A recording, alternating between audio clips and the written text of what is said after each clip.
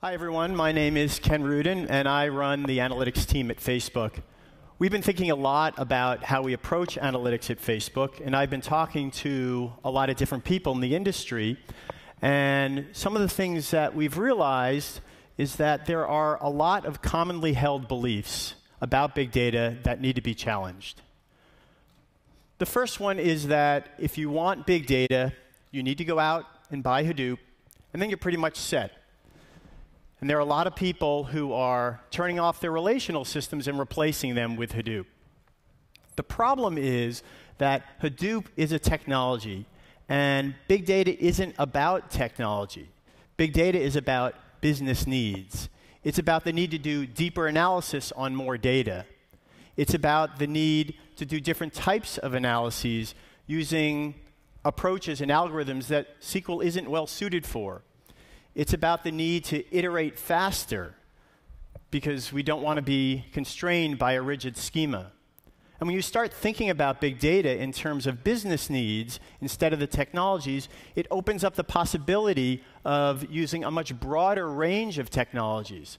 So, in reality, big data should include Hadoop, and it should include relational, and it should include any other technology that is suited for the task at hand. At Facebook, we're a young enough company that we started by using Hadoop as our core data technology rather than relational. And as we start thinking about big data from the perspective of business needs, we're realizing that Hadoop isn't always the best tool for everything we need to do, and that using the wrong tool can sometimes be painful.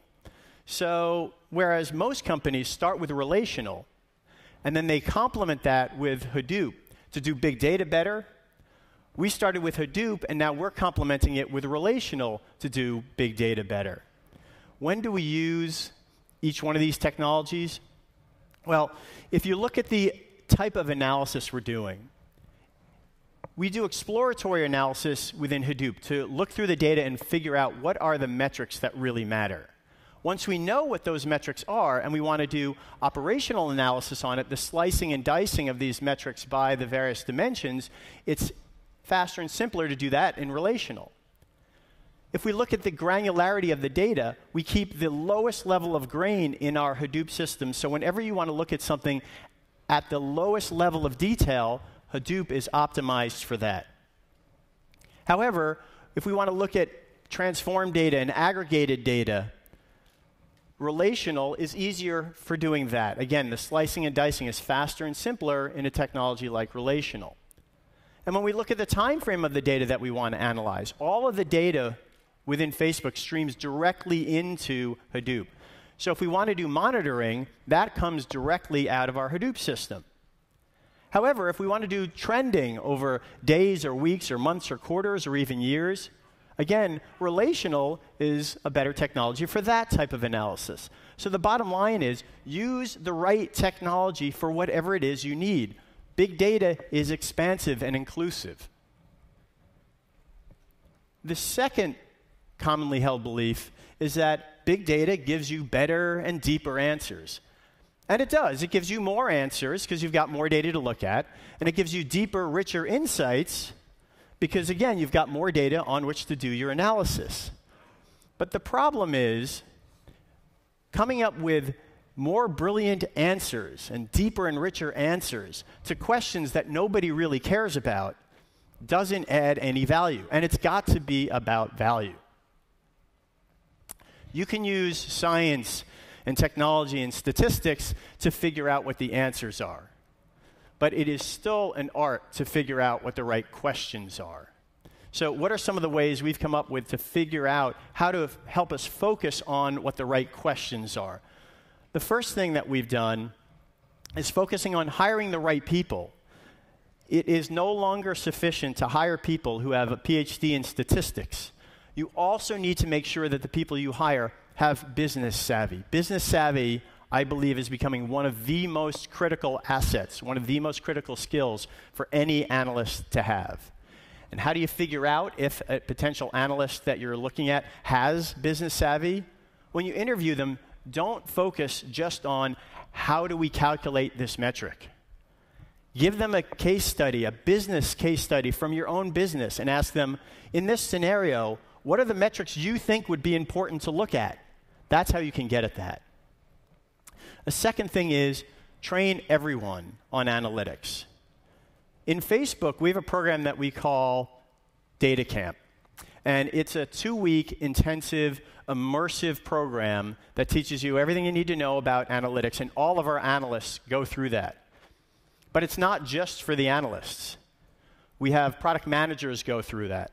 We have designers go through that. We have people in finance and people in operations go through that. We even have a special version of the class for our engineers. And the value of having everybody go through it is that you give everybody a common language of data that they can discuss topics and issues with throughout the whole company. Another thing that's really important about the training is what you train them on. 50% of that training should be about the tools and the technologies and how to use them. But the other 50% should be on how do you figure out how to frame the right business questions and how do you frame business questions in such a way that you can use data to get the answers. A third thing that we focus on is making sure that we put our analysts in an org structure that allows them to have the biggest impact. There are a lot of different org structures that people wrestle with. One of the common ones is the centralized structure, where you've got various business teams and then a centralized analytics team. The advantage of this is that you get common standards and processes across all your analysts. The disadvantage is that because they are a centralized team separate from the organizations that they serve, they're a bit disconnected from the goals of those organizations. And because of that, they tend to be more reactive, meaning they sit there and wait for requests to come in from other areas of the business and respond to them rather than being proactive. The flip side of this is a lot of other organizations go the decentralized route, where you have the analysts within the actual business groups themselves. And this gives you great alignment between what the analysts are doing and the business goals. However, you no longer have the shared standards and processes, so that results in inconsistencies. You ask two different groups the same question, and you get at least two different answers. It also leads to redundant efforts because these separate groups don't have a central coordination mechanism, so you'll find that multiple groups will be trying to solve the exact same problem redundantly. What we found works best at Facebook is a hybrid of those two that we call the embedded model. It looks a little bit like the centralized model in that everybody does roll up to a central team, but the analysts physically sit with the organizations that they're providing service for. So, in that sense, it looks like a decentralized model. The benefit there is that you get your common standards and processes from the centralization, but you also get great alignment and connection to the goals. And in fact, the analysts share the goals of the teams in which they are embedded. So we found that this hybrid model really gives us the best of both worlds.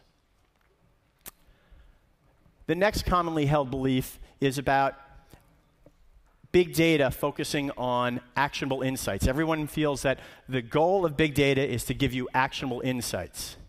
It's not. Let me look at a quick history of where we've been with analytics. We started decades ago with reporting where the goal was tell me what's going on in my business. And people realized I need more than that. I need to get a little bit of insight into why that's happening. And that lasted for a while. And then we took the next leap, and people said, you can't just stop with insights. You have to have actionable insights. You need to be able to do something about it. That's the real goal of analytics. And that's pretty much where we are today. But that's not far enough. You need to close the gap. You need to go the last mile and evangelize your insights so that people actually act on them and there is impact out of this. What do I mean by impact? Impact means generally one of three things. First, it means moving a metric, such as coming up with a way to drive user registrations up by 5% and actually driving it up by 5%. That's an impact. Or changing a product, such as when we analyzed our own social graph and found out that if I know Jonathan and you know Jonathan, then I probably know you, which led to a feature that helps me find people I probably already know within Facebook. Or it means changing a behavior or a process, such as changing the process for forecasting user growth or revenue growth. The bottom line is that you need to own the outcome. Our job as analysts is to use data to move the needle. It doesn't matter how brilliant our analyses are. If nothing changes, we have made no impact. If nothing changes, then it doesn't make a difference whether or not you even work at that company. If nothing changed, and if it, if it doesn't make a difference whether or not you even worked at that company, how can you say you added any value? So you have to close the gap, go the last mile, and hold yourselves accountable for making sure that your insights actually lead to an impact. So, in summary, we really need to rethink how we think about big data. We need to focus on the business needs of big data, not the technologies behind it we need to focus on making sure we are asking the right questions, not just coming up with more and more answers to questions that no one really cares about. And we need to focus on holding ourselves accountable for impact beyond just the insight. The people who do this well are driving tremendous impact in their companies and changing the industries in which they work. And as analysts, that's the biggest impact we can have. Thank you.